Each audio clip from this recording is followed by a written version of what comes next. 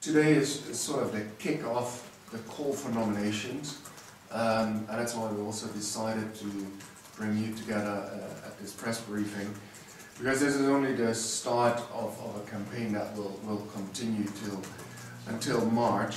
Um, this is the third edition of the Green Star Awards.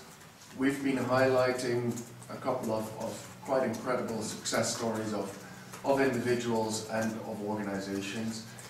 But for this edition, we're also looking for more the political, the higher level, the leaders, um, the hot shots, so to say, in environmental emergencies that we, we would like to recognize. This is not an environmental award and it's not a humanitarian award. It's both. As what we're looking at here, environment is very often a cause for a humanitarian crisis. It can be a contributor and at the same time it can be a consequence of a humanitarian crisis. And it's for these three reasons that we're trying to work together with humanitarian partners and environmental partners um, to, to highlight the need to continue working in this, in this field. There are three main categories, which is response, preparedness, and mainstreaming. The award ceremony will take place during the, the 20th anniversary celebrations of Green Cross International. And obviously that event will attract, uh, attract uh, a large number of, of leaders in this world, both in the environmental and the humanitarian field. So we do want to want to make best use of, of that event. The disasters will be uh, accelerating, growing in uh, scale, in scope, affecting more and more people worldwide.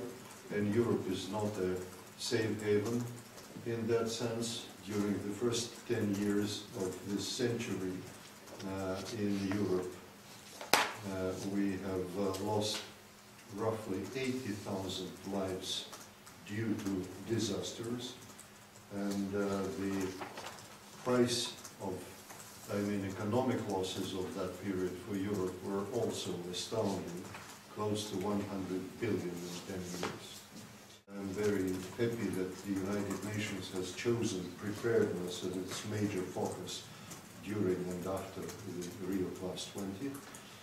Uh, and uh, that's why I think that uh, yeah, it's very important to raise awareness and to also spread good practices around the world. And that is exactly what the award is um, focusing to do, to find uh, the cases when people, institutions, governments act in best ways in terms of uh, offsetting the uh, disaster impacts or preparing for them or mainstreaming the activities in terms of preparation for possible disasters.